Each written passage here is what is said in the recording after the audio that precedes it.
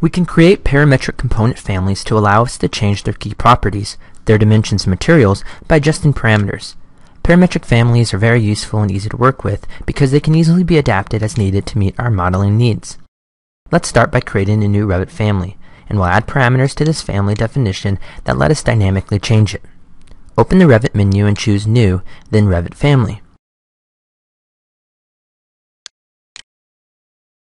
We'll start by choosing a template for this new family from the Templates section of the library. Every Revit family is based on a template that specifies the category for this family and any special hosting requirements. Most families can be placed anywhere in a project model, but some families are defined as being wall hosted or ceiling hosted. Components from these families can only be placed on the appropriate hosting element. Let's choose the furniture template to create a new console table with no special hosting requirements. Users of this component will be able to place it anywhere in a project. Before we get started modeling, let's save this new family to the library and name it Console Table.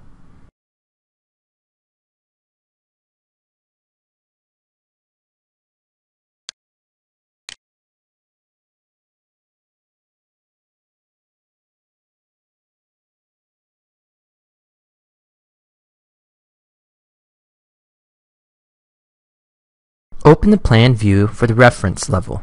You'll see that there are two reference planes that have already been defined as part of the template. These are center front back and center left right. The intersection of these two planes is the placement point, the reference point on the component that will be placed at the point where you click the mouse as you're placing the object in your model. We'll add new reference planes to define the boundaries of our new console table. First, place reference planes running left to right on both sides of the center front back plane. These will be used to define the front and back sides of our table. Then, place reference planes running from top to bottom on both sides of the center left-right plane. These will be used to define the left and right sides of our table. Now, let's switch to an elevation view. We'll also add a reference plane to define the top of our table. We'll give this one a name, so it will be easy to identify later when we are setting the work plane. Place it and let's name it Tabletop.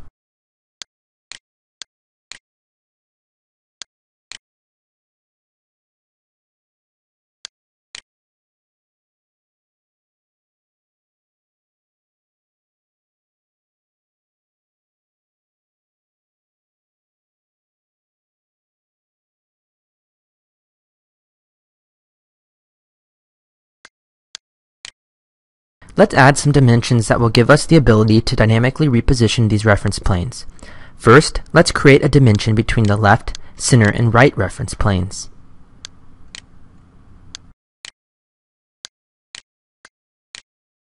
We'll set the equal constraint to make sure that the left and right sides are always positioned equally around the center line. Now, we'll add an overall dimension between the left and right sides. We'll use this dimension to control the length of our table. Rather than giving this a fixed dimension, let's add a parameter to this definition line that will let us dynamically change it as a property of the table. Select the dimension, then open the label pull down in the options bar and choose Add Parameter.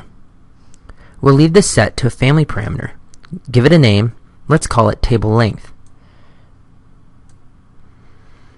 Now set this as a type parameter. That means that this dimension will be the same for all components of the same type. To change this dimension, the user would define a new type and set the desired size as a type property. This will be a parameter of type length, and we'll leave it grouped in the dimension section of the properties dialog. Next, we'll add similar dimensions between the front and back reference planes. First, add dimensions that will set to equal to make sure the front and back reference planes are always equally spaced about the center. Then, we'll add a dimension that we'll use to set the width of the console table. Select this dimension and add a parameter to it. We'll call this one table width. It will also be a type parameter. It will have the type length and we'll also leave it grouped in the dimensions section of the properties dialog. We can switch to the elevation view and add a similar dimension to set the height of the console table. This one won't need the equality constraint since we want the table to be placed above the reference level. Add a dimension between the reference level and the top reference plane, then add a parameter to this dimension.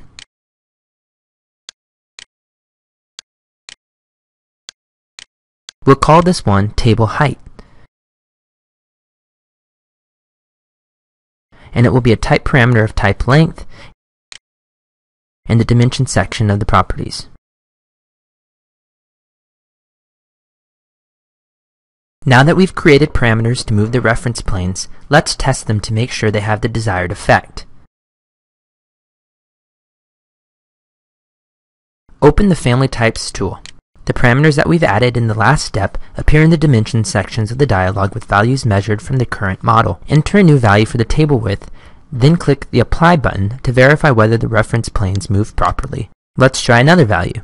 Now, let's change the table length and again click the Apply button to verify that the reference planes move as expected. We can repeat these steps to systematically test that each of our parameters is having the desired effect on the reference planes.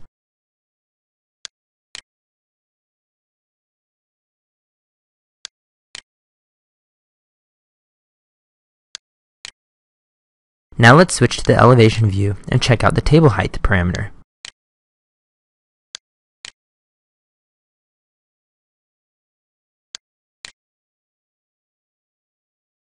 This parameter is also working properly. Back in the Family Types dialog, we can define a few types with different dimensions that we can use for testing our new table component. Click the New button in the Family Types section of the dialog and enter a descriptive name for this new type.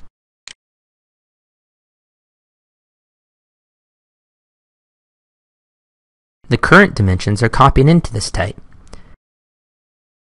We can change these values or define another new type and change them there.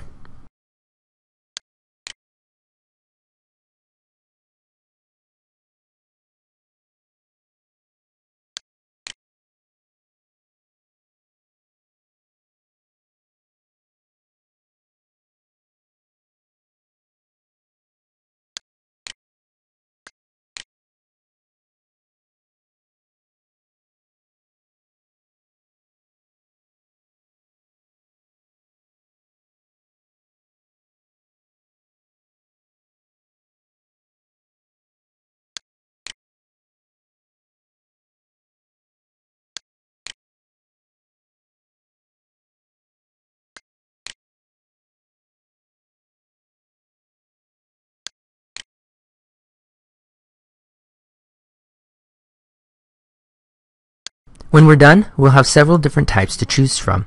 You can see them here in the name dropdown. These will be the names that appear in the type selector.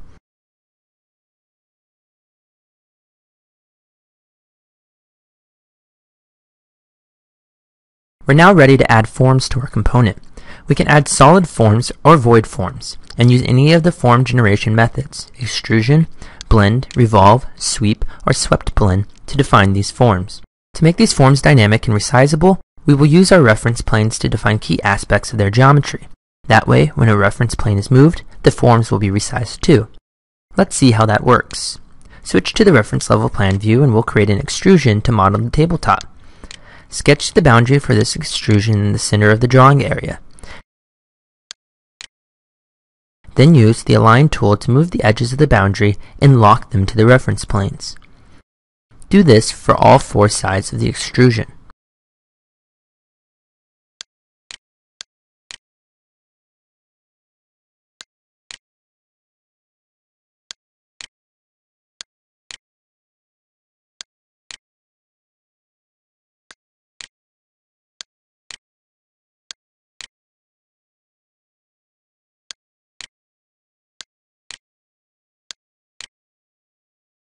Click the check mark to finish editing the extrusion. Then, let's switch to the elevation view to set the top and bottom of the extrusion. You see the extrusion we just placed at the reference level. By default, its start is at 0 feet, and its end is at 1 foot. Let's use the Align tool again, this time to lock the top of the extrusion to our reference plane for the top of the table the table shouldn't extend all the way down to the reference level. So let's add another reference plane to control the bottom of the tabletop. Then, use the Align tool to lock the bottom of the extrusion to it.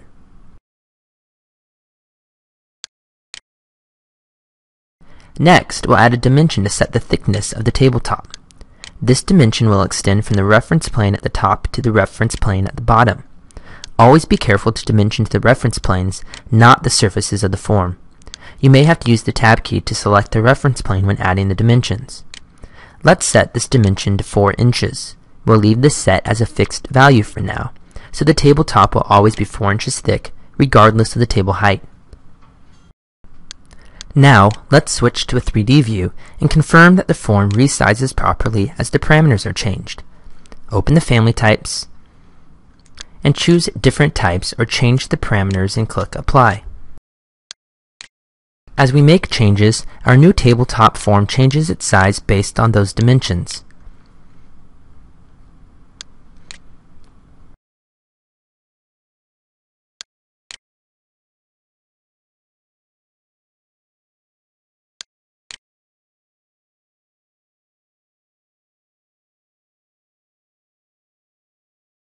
We can repeat these steps, adding reference planes and creating a new form whose shape is defined by these planes to model another piece of the model. We'll add a pedestal base beneath the tabletop. Switching back to the plan view, you can see that we've added reference planes and parameters to define the pedestal length and pedestal width. Then in the elevation view, you'll see that we've added another extrusion that stretches from the reference level to reference plane at the bottom of the tabletop. Open the family types again now we'll confirm that the two forms are responding properly to changes in the parameters.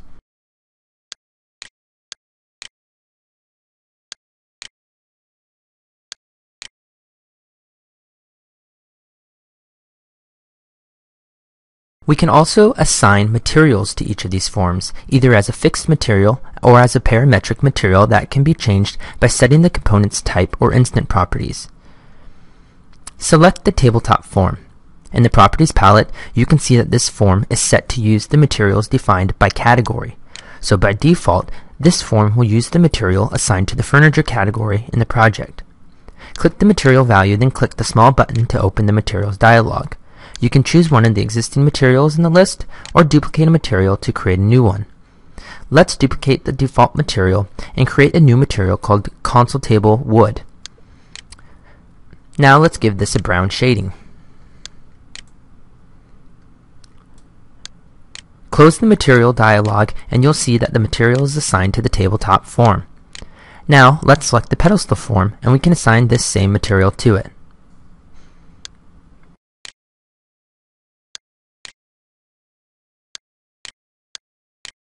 As a final step, let's add parameters to material settings for each form, so users of our component can easily change the materials in their project. Select the tabletop form again and click the small button to the right of the materials value in the Properties palette. This button opens the Associate Family Parameter dialog, where we can add a parameter that will let users change this value. Click the Add Parameter button, then create a new parameter called Table Frame. Let's make this an instance property, so the value can be set independently for every instance of this component. This will be a parameter of type material, and we'll group it under the Materials and Finishes section in the Properties. Let's set up a similar parameter for the pedestal. Select the pedestal form and click the small button to the right of the material setting. Add a new parameter called pedestal and set this to be an instance parameter of the type material and group it under the materials and finishes section. Now let's save our work so we can load this into a separate project.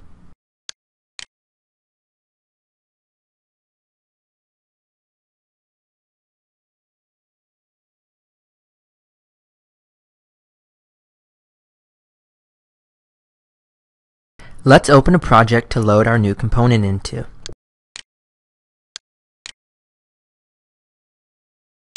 Now open the Place Component tool and then select Load Family. In the library, find the family that we just made.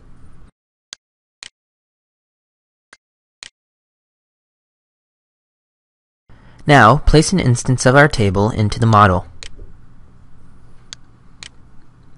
In the type selector, we can also choose a different type and place that as well.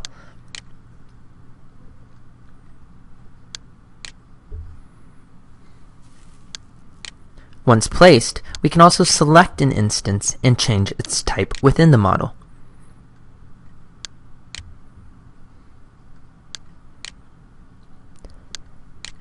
Next, we can select an instance and edit its type in order to create a new type with different dimensions.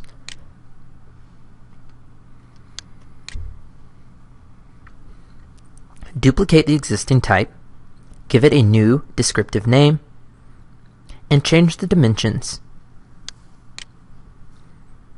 When finished, select OK.